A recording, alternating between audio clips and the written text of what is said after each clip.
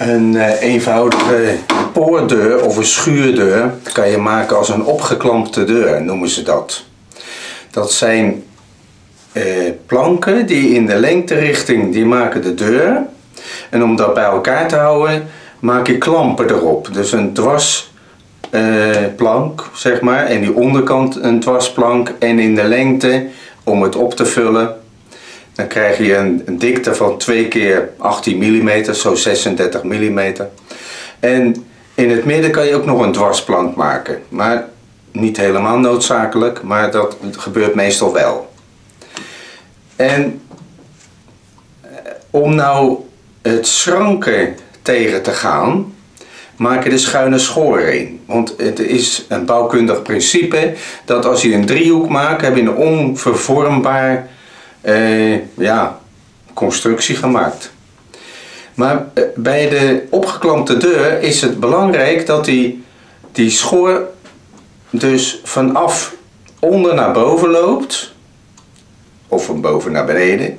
Maar niet als hier de hangkant is, links, daar hangt hij aan de scharnier. En dan kan hij eh, met het gewicht aan de eh, openingskant gaan trekken, naar beneden gaan trekken.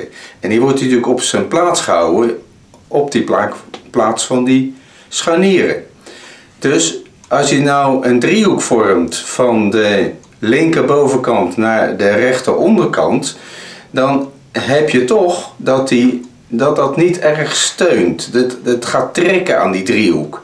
Maar als je hem van links onder naar rechts boven gaat, van mij gezien dus, is dat hij die hangkant, wordt hij ondersteund. Die, die schoor die geeft hem steun naar boven op die dwarsplank. En de onderkant, de onderste helft ook.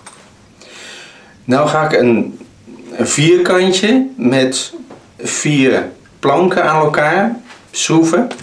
Oh, ik moet even vermelden dat als je een opgeklampte deur maakt, dat je hem niet moet lijmen. Je moet hem je, in de hoeken, dan ga je spijkeren, vier spijkers erin, doorgeslagen, aan de andere kant omgeslagen. Dat is de meest simpele manier van constructie, die heel oud is al.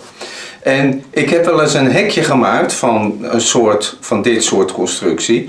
En daar wou ik heel goed mee doen, heb ik hem vastgelijmd. Maar dat gaat krom trekken. Dat wil uitzetten en in, de, in de open lucht. En water komt erbij en dan gaat hij eh, reageren en dan gaat hij scheluw trekken. Dus je moet een opgeklampte deur of hekje moet je niet lijmen. Je moet hem gaan eh, spijkeren, schroeven, hoe dan ook. Maar dan zit dat als het ware een beetje los. Dan kan het uitzetten en krimpen. Dan gaat hij dus niet scheluw trekken. Dat is belangrijk. Nou, en om dat nou die steun te geven door middel van die schoren, daar gaat het nu even om. Ik ga een proefje doen met vier planken, en gewoon een vierkantje, en dan laat ik zien hoe die werkt als je die schoren op de ene manier doet of op de andere manier. Kijk, ik heb een raamwerkje gemaakt en zit op iedere hoek zit er één spijker waardoor je dit kan doen. Dat is, dat is duidelijk, hè? Kijk, als ik deze nou fixeer, zo, dat is de handkant. Dan gaan we eens even zo vastzetten. Even kijken.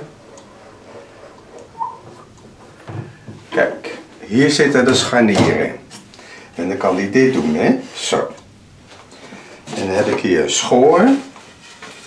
En als ik dat nou... Even kijken. Hoe zat die nou?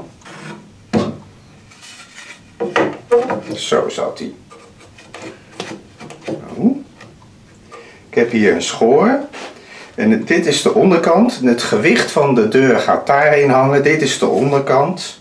En als ik dit nou klem. Even kijken. Hij moet een beetje dichterbij. Dus ik moet de zetten.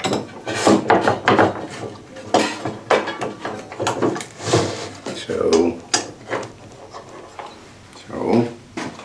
Dus het gewicht hangt zo. Dus je kan je voorstellen als hij zo naar beneden wil zakken, dat hij, als hij hem dan hier vandaan ondersteunt, dat hij dan het meeste doet. Is dus hier.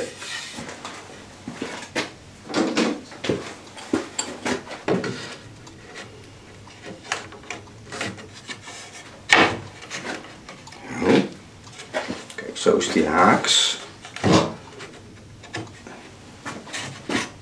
Zo. Die geklemd.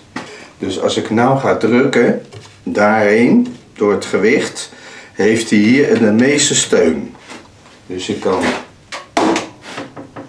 aardig trekken. Hè? Dan gaan we hem omdraaien.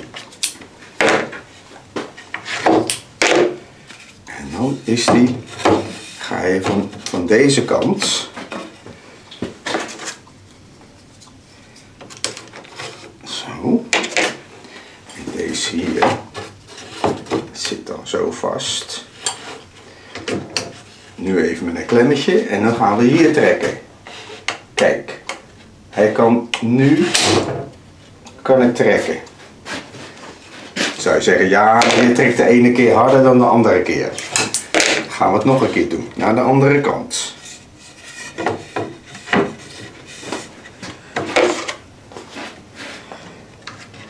Zo.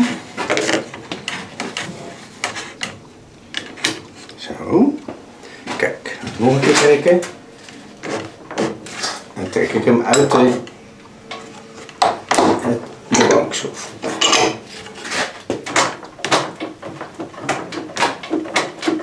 Kijk, ik trek mijn hele werkbank heen en weer. Nou, dan ga ik hem nog een keer draaien. En dan doe ik het zo.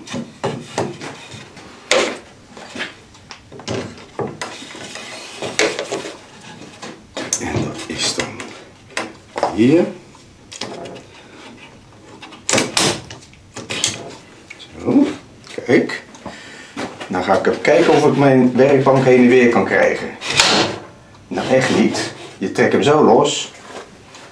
Het bewijs is geleverd. Dat je vanaf de scharnierkant, de onderkant, naar, naar de hangkant boven moet doen. En als je hier tussen nog een klamp hebt zitten, dan doe je dat twee keer. Niet één zo en één zo, dat heeft geen zin. Het gaat twee, twee keer moet hij zo. Dus deze kant is niet goed.